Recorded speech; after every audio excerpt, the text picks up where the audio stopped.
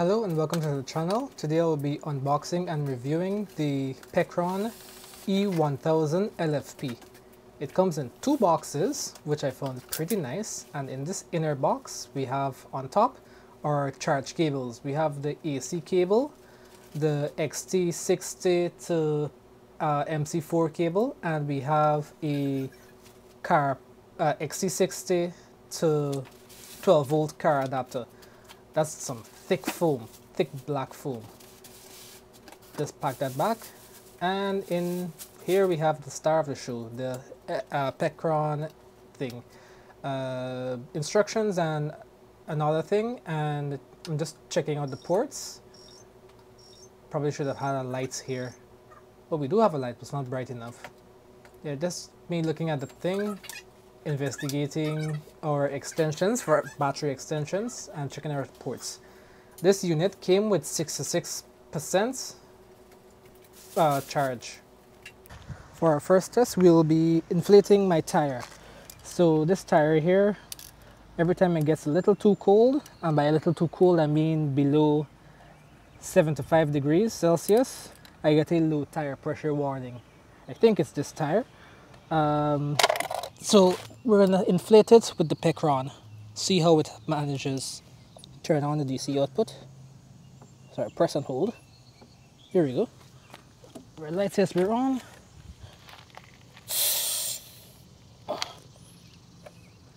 Alright, this tire is at 32 psi. It could use some air, so let's put some air in.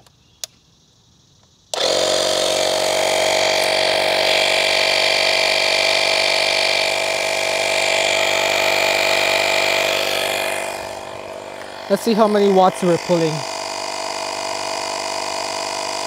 About 95, 96 watts. 95, 96 watts and with our 66% battery um, it's between 68 68 minutes and is that minutes or hours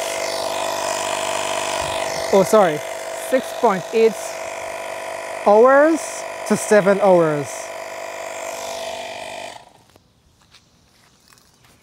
all right that was quick we were at 45 40.5 psi. Let me do the other tire. Do I have to move the Pecron? Yeah, I'll move it. This tire is at 25.5 psi, so let's inflate this up to 40.5.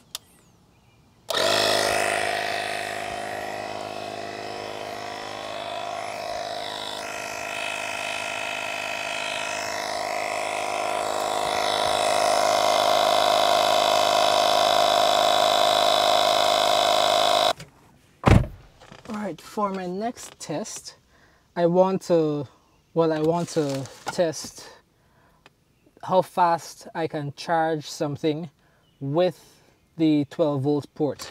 So here I have a 200 watt a 200 watt car charger 12 volt car charger. I have my doubts that this is actually 200 watts because I have a 95 watt charger. I had one and it seems heavier than this. I wish I could use my own phone to charge it, but my phone is being weird. I can't even, I could plug in my phone to charge, it would not charge. I plug it into the computer, I can access my files, but the phone still would not charge. So let's test here. This is actually a bad test because I don't know the output of the 12 volts for the car. And I don't know if this is actually um, 200 watts.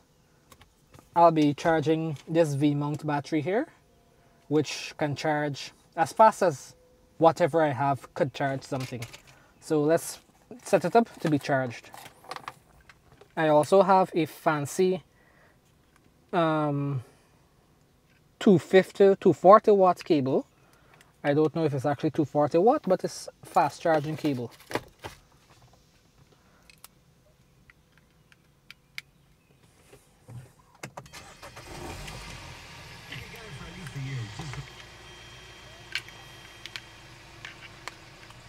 Alright, and we're actually charging.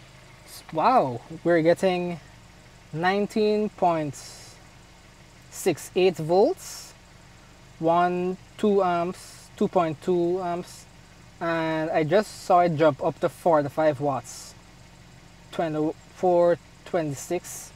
Let me show you guys. Hopefully you guys can see it because I'm not using my phone to monitor it because I'm a professional at this. We're getting nowhere near 200 watts. We're hovering around 26 watts and this can charge super fast. I'll put up how fast it can charge from the wall. I doubt this is actually 200 watts. This is probably like I don't know. Alright, so let's test the Pecron. Alright, so I guess my microphone died here. So here I'm testing this, charging the same V-mount battery. And you can see how much watts it's pulling. It's going up and down, up and down, and then it finally stabilizes at 28 watts.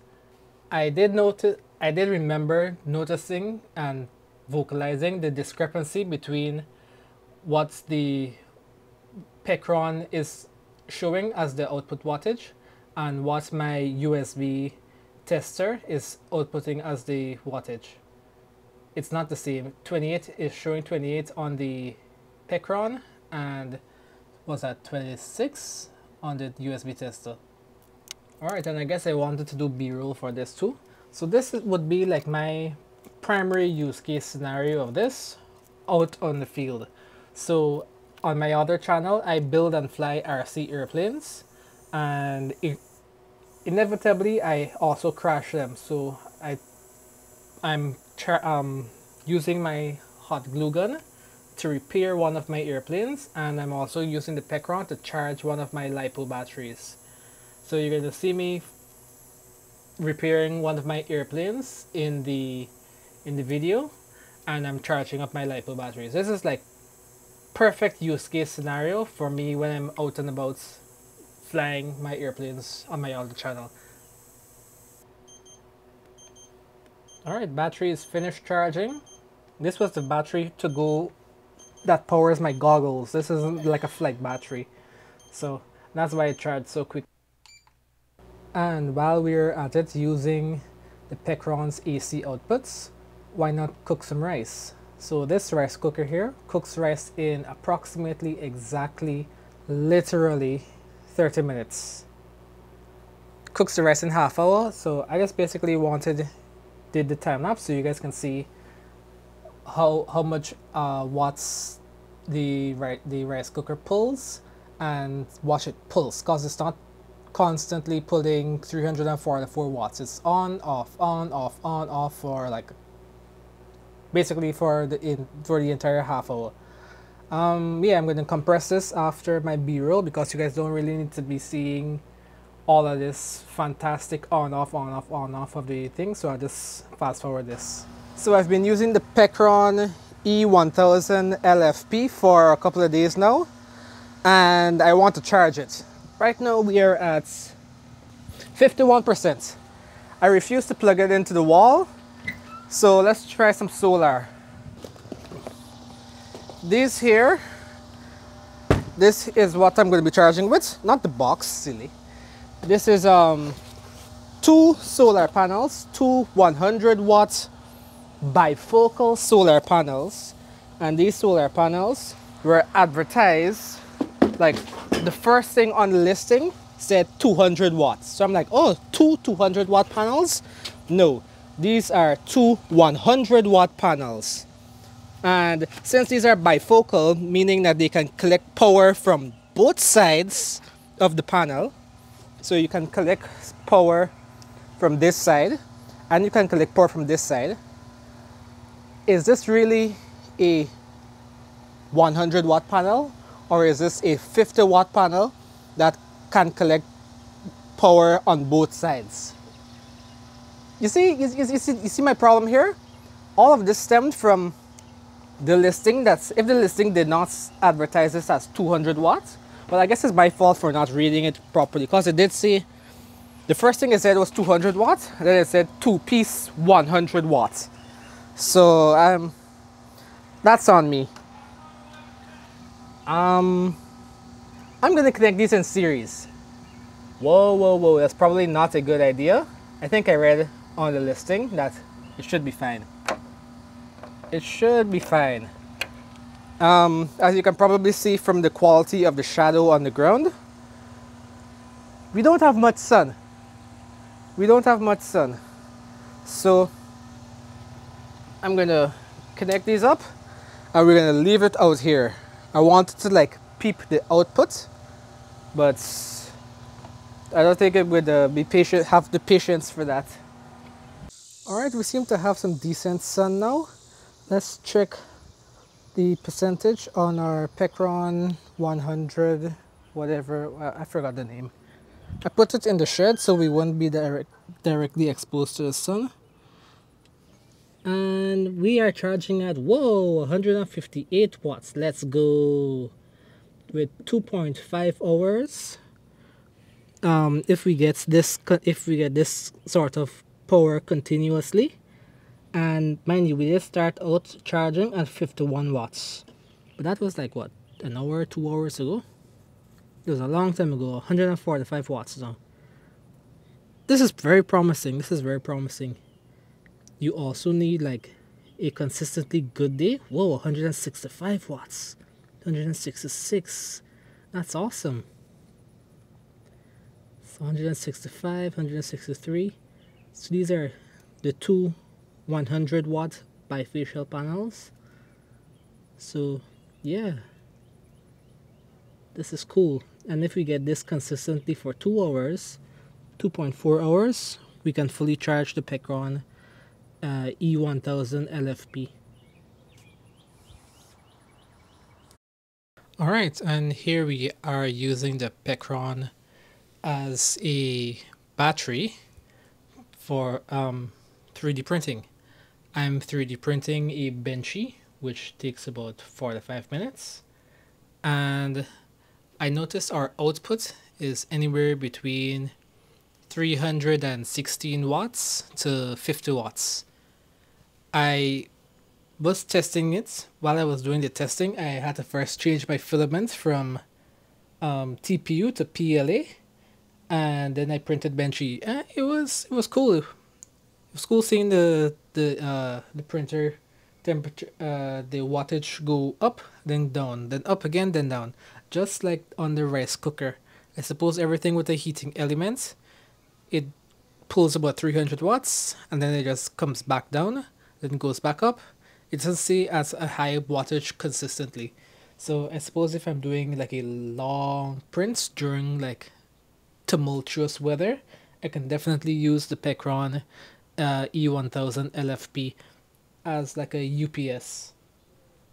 Oh, and since I'm doing this recording way later, just want to see that I fully charged the Pecron on my two solar panels. I put it out in the morning and pretty sure it finished charging around like 2 o'clock but I was at work so when I came back home it was fully charged and yeah super happy super satisfied with this Pecron um, my only issue with it is that the cables the bag with the cables they cannot be stored inside or on the unit itself.